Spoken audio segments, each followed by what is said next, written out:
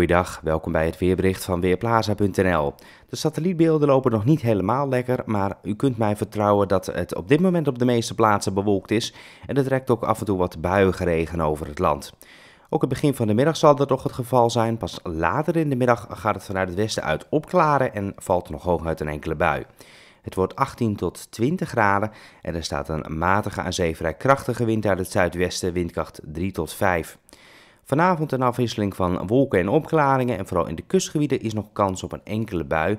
Het koelt dan af tot een graad of 15 en de wind draait langzaam naar westelijke richting en neemt wat af.